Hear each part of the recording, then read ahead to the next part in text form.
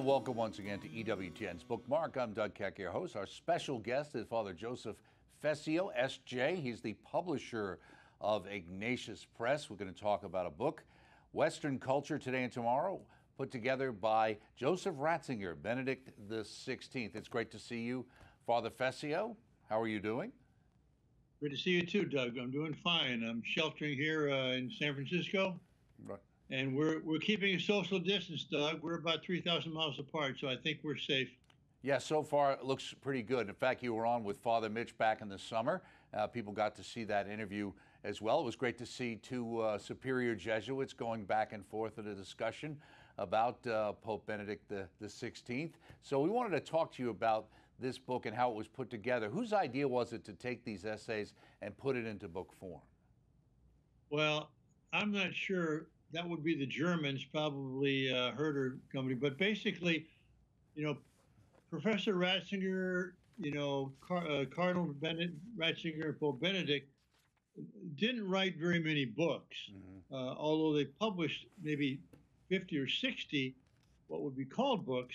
But most of them were like this a collection of essays, a collection of homilies, a collection of speeches, mm-hmm. and so on. There's very few books are written as such. Jesus of Nazareth is one of them. Mm-hmm. The Introduction to the Spiritual, Spirit of the Liturgy is another one.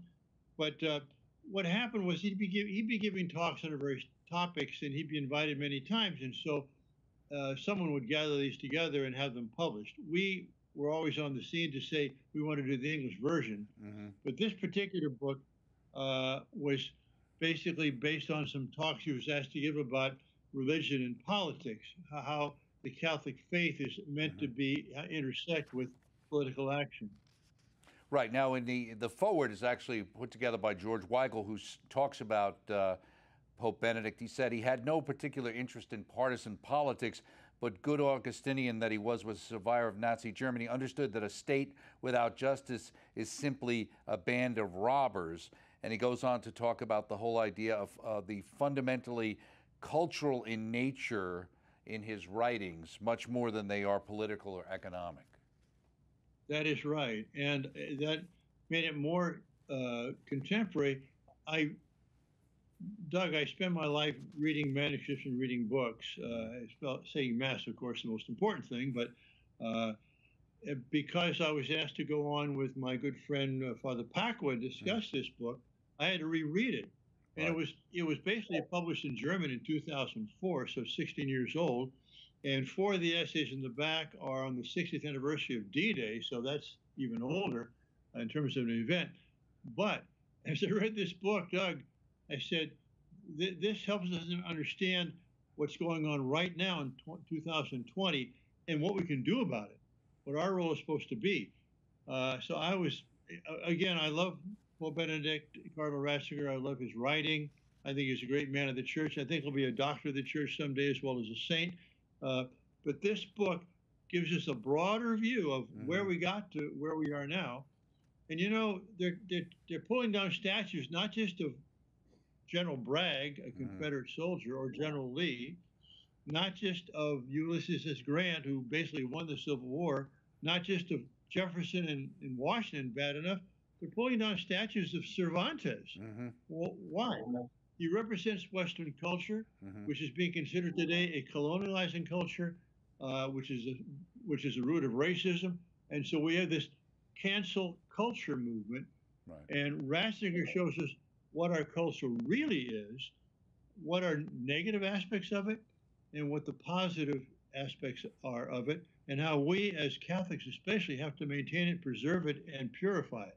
Right. He talked about the idea that the West for, was foremost a cultural achievement with a history, and that the history is forged by the interaction of Jerusalem, Athens, and Rome, the, the, the three legs of the stool. And he goes on also, and I wanted to ask you about this, that Ratzinger once put it in a 1998 lecture to Asian theologians. It was providential that the first enculturation of the gospel took place where the principle of non contradiction was secure. Why? That's right, because we had in, in Eastern philosophies, we had this idea of, of, you know, I am you and you are me and, you know, I am it, mm-hmm. uh, no distinction of persons. Even the even the, the highest they got towards some kind of a, of a uh, higher life, uh, you know, heaven, would be nirvana, where all individual differences are extinguished. And so it was the Greeks, especially, as well as the Jews, uh, you know, that's Jerusalem, to emphasize the unviolable, inviolable dignity of the human person, mm-hmm. uh, and that we can be one. And of course, it's based in the Trinity, because in the Trinity you've got one God, but you've got three persons. Right. And so in the West, because of Jerusalem, as well as because of, of Athens, we have this idea of God as reasonable, logos, and human life as personal dignity, where all are equal in God's sight. That's the importance of both Jerusalem and Athens in our history. Right. Weigel mentions that uh, in his estimation, Ratzinger drew his analysis of the West's postmodern crisis. Its 19th century Western high culture decided to kick the Jerusalem leg out from under the stool when its atheistic uh, humanists, Henri de Lubac dubbed them, declared the God of the Bible the enemy of human maturation and liberation. Is that the effects we're seeing now? Yes, it absolutely is. And uh, in this book, uh, Pope Benedict or Ratzinger, as he's writing it, is speaking of what he calls the third turning point in Western culture, which was the French Revolution, mm-hmm. in which for the first time we had a purely secular society. And he says we, we've mythologized progress, science, and freedom. So the progress is whatever you can do, whatever is new, try it. Uh, science is we only can know what we can understand empirically and, and experiment on. And freedom is no restraints to do whatever you feel like doing as long as you don't harm someone else clearly, you know, uh, and directly. But he says we have to have a counterbalance of that in the third leg of the stool, mm-hmm. which is the faith, which is Jerusalem, to show that we have to have moral criteria for progress. You know, just because we can uh, assemble, you know, in a test tube, uh, make, so to speak, a human baby, mm-hmm. does not mean we should do it. Just because we can experiment on an embryo who's been aborted doesn't mean we should do it. Likewise with science, uh, the idea that our reason is only limited to empirical observation and experiment is a truncation of reason. It's a reduction of reason, and we have to open up to the transcendent. Finally, on freedom, freedom is not just license or absence of restraint.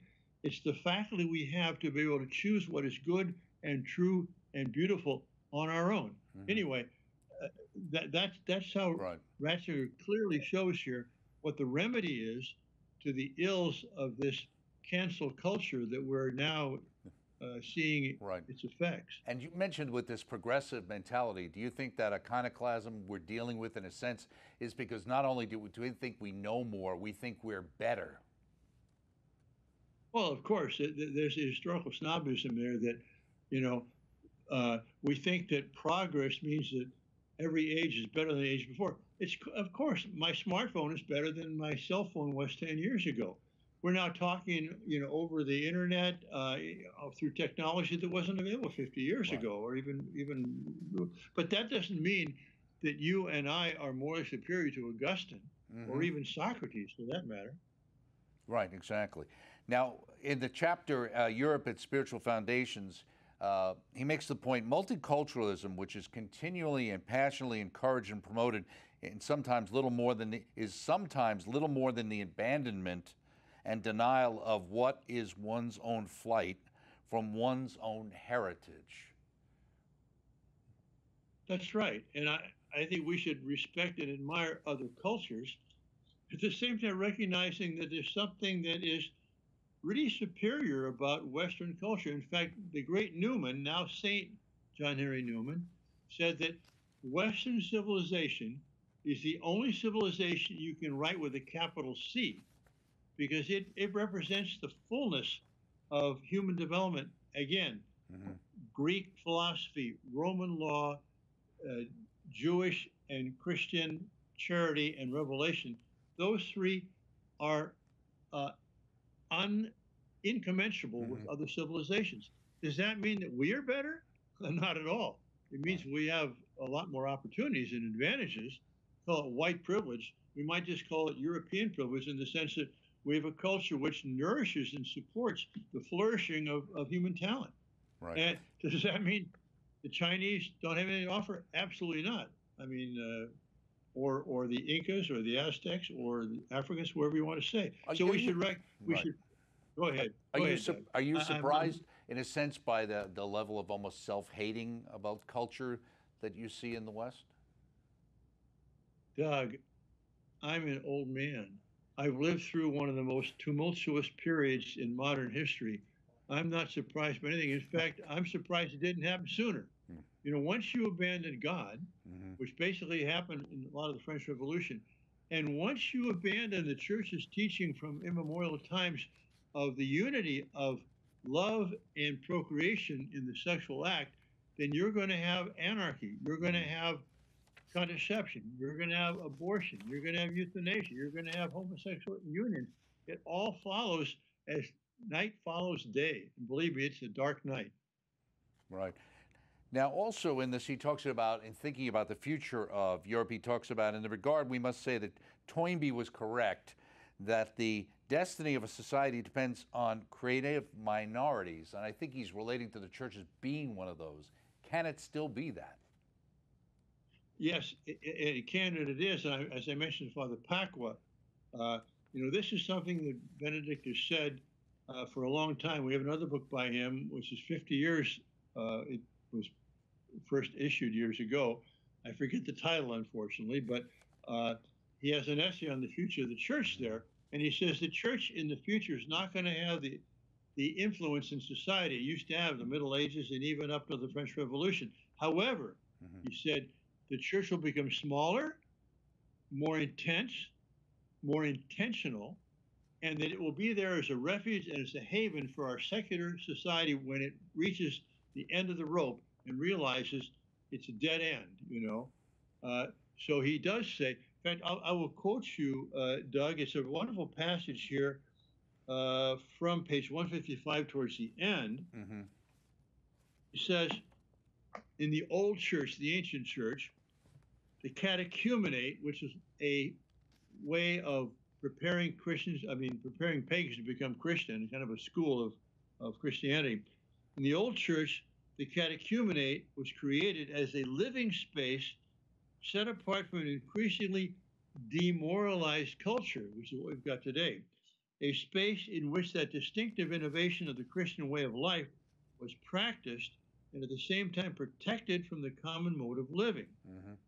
I think that even today, something like catechumenal communities are needed Hmm. so that the Christian life, with all its character, can hold its own ground. And I told Father Pacwa, Doug, I said, that's what E EWTN is. Mhm. You, you are helping to create a virtual catechumenate of those who are serious about their faith uh, around the country and around the world. Right. Ignatius Press, we try to do it by our books. I've called home schools the monasteries of the new dark ages because we're entering a new dark age. The barbarians are at the door. I mean, you, you these the peaceful protesters we've seen. Okay, great, I'm all for that. Mhm. But looting, burning, pillaging, raping, Mhm. shooting, killing, that's not peaceful protest. Right. And they're coming after, they're coming after statues now. Right. But uh, if we don't stop them, they're going to move beyond the statues well, to the, right. Exactly. you know, And they're, and they're coming after the ideals and the ideas behind those statues. yes, yes. Now, he he also said, speaking of, you talk about the new dark ages, he talks about today we find ourselves in the midst of a second enlightenment. It, is, it has proposed a rational goal for the future, which is entitled the New World Order. It is now supposed to become, in its turn, the essential ethical norm. It still shares with Marxism the evolutionary idea of a universe brought forth by an irrational event informed by its intrinsic rules. It's interesting that he would use that term. Yes, uh, it is. And of course, my good friend, you probably know him, Tom Howard, Thomas Mhm. Howard, a great Sure. author, a great Mhm. Christian, a great man. He would never talk about the Enlightenment. He called it the Endarkenment.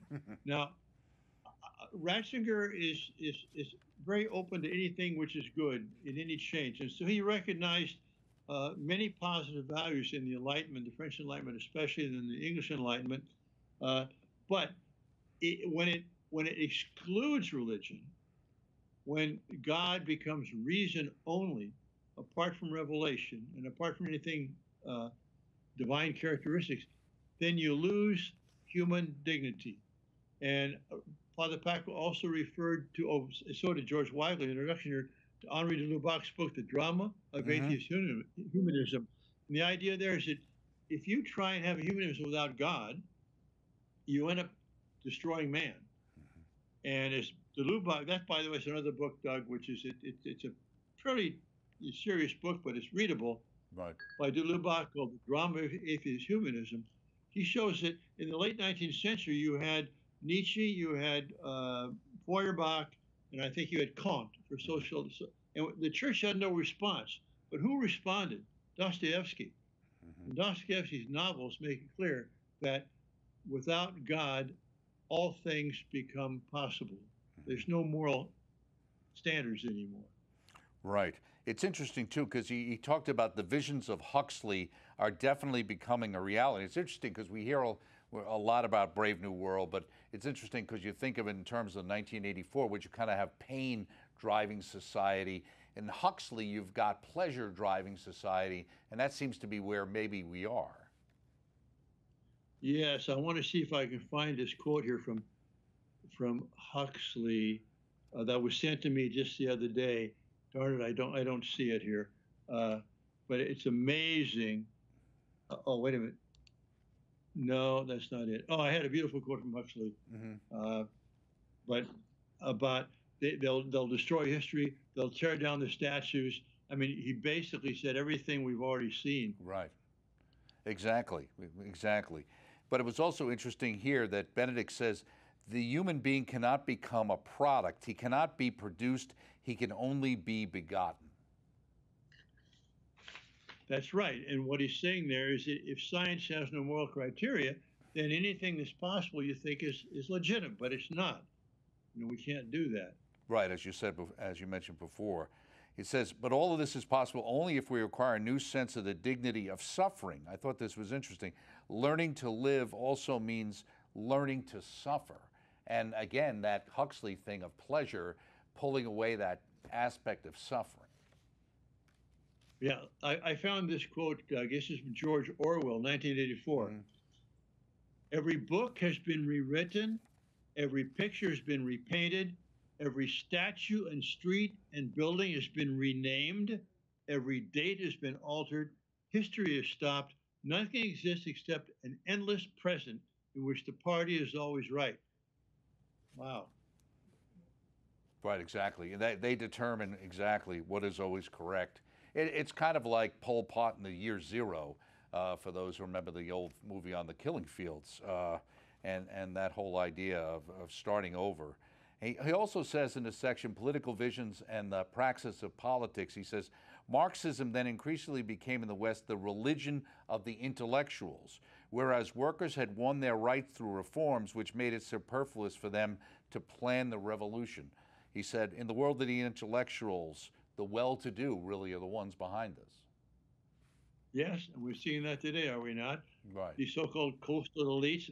I guess I'm I'm part of the coastal elite, Doug, because I'm in San Francisco. However, I'm a I'm a contrarian. You're down there in, in Alabama. Thank God for Alabama, Amen. you know, and, and the and the rest of the flyover country. We're counting on you. He also goes on to say the foundation of this concept of history consists, on the one hand, in the theory of evolution transferred to history, and on the other hand, not entirely unconnected with the previous element in Hegel's version of faith in progress, which you were talking about earlier.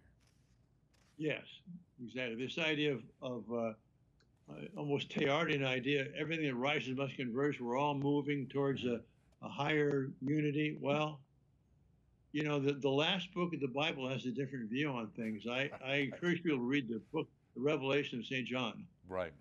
Good, well put. Revolution and utopia, the nostalgia for a perfect world, are connected. They, they are the concrete forms of this new political secularized messianism. The idol of the future devours the present, and the idol of revolution is the adversary of reasonable political action. Yes, and uh, related to that, Doug, on page 61, he's so he's so insightful. He says, politicians of all parties, for politicians of all parties, the obvious thing to do today is to promise change. Mm-hmm. Of course, change is for the better. One would have to conclude, however, that in modern society, a deep sense of dissatisfaction predominates. And this precisely in places where well being and freedom have reached a level heretofore unknown.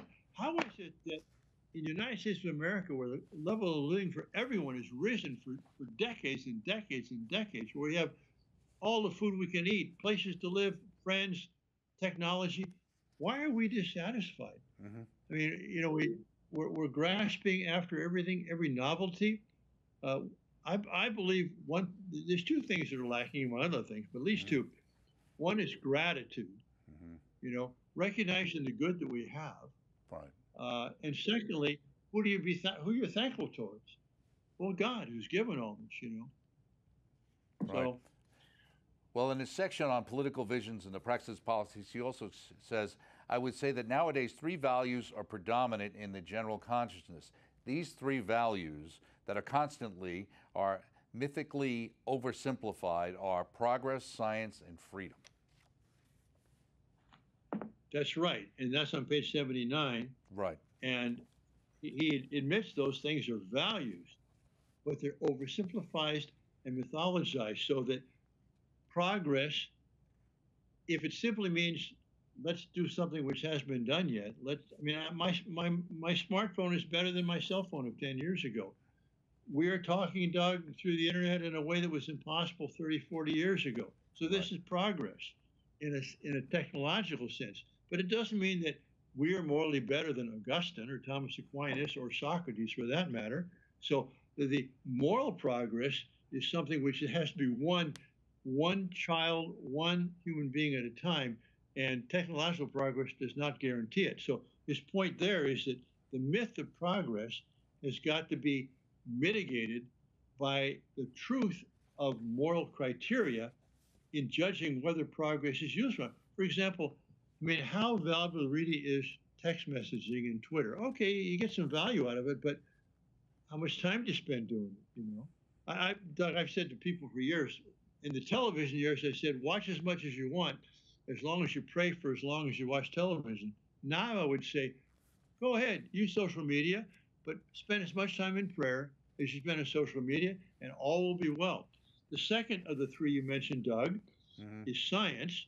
And again, science, uh, without moral criteria, will start to do things like, uh, you know, experiment on, on aborted fetuses you know, Mhm. Or try and create human life in a test tube. Right. That's morally repulsive and repugnant. You know, or we might create a we might create biological weapons that we can then then use. But there's no moral criteria. And finally, freedom is the third one you mentioned that he mentions here. It, it, it's not just an absence of restraint. It's not just a license to do whatever you want as long as you don't harm someone next to you. No, freedom is the capacity to choose what is good and Mhm. what is right, what is true, what is beautiful. It's a beautiful gift that God has given us.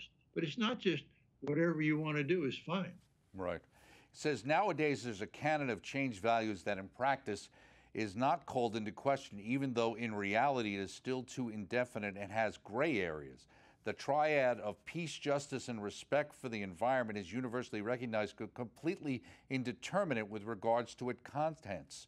What promotes peace? What is justice? What is the best way to protect the environment? Right. It's like being pro-choice. I'm I'm, I'm for choice. That's God's gift of a free will to us. Mm-hmm. But it's what you choose that makes a choice good or evil. You know, it, it's the object of the choice which is important. So the content, as he says. By the way, Doug, you, you, you're quoting some great passages Yeah. here. I, I am rereading this book. I thought to myself, you know, God bless him. He, he's going to be a doctor of the church, I believe, and a saint someday. But he, his writing is so luminous, it's so profound, and it's so accessible. I mean, Mhm. he's not he, he's not some kind of a really abstract uh, ivory tower type person. Right. In the section on In Search of Peace near towards the end of the book, page 119, the task of Christians, he says, and so it is plain the Christians today face a great challenge. He goes on to say, Our task as contemporary Christians is to make sure that our, our idea of God is not excluded from the debate about man. That's right. And the whole idea of the naked public square, you know, God and faith being apart from the marketplace, you know, is a total mistake. In fact, he does talk about that also uh, on the relationship of religion and reason. It's on page 101, uh, where he says, you know, there, there's a, there's pathologies of religion. That is, religion gone wild. It goes into terrorism, for example. Right. There's pathologies of reason, or reason unrestrained by moral criteria. But he says on page 101, religion must continually allow itself to be purified and structured by reason. Right. And of course, that's the definition of the Catholic Church. We've, we've, we've embraced Plato, we've embraced Aristotle. Thomas Aquinas has united them. But then he says, this is why reason, too, must be warned to keep within its proper limits, and it must learn a willingness to listen to the great religious traditions of mankind. And so, he, again, he is a exactly. a man of integ- integration, Doug. I mean, Right. he doesn't go off in one little narrow path. He believes in trying to bring together all the riches of what mankind has been able to discover and transmit, but at the same time, not just human things, but what God has told us, you know, through his revelation. Well, we appreciate. We're just out of time. Thank you so much, Father Joseph Fessio, publisher Ignatius Press. Thank you so much for bringing together wonderful books like this uh, into the English language for our audience. The book Western Culture Today and Tomorrow: Fundamental Issues by Joseph Ratzinger, Benedict XVI, again published by Ignatius Press, available proudly through our EWTN religious catalog. EWTNRC.com is the place. Thank you so much, Father Fessio. Thank you, Doug. God bless you. Keep up the good work at EWTN. Thank you very much. And thank you, audience, for joining us this week on Bookmark. We'll see you next time.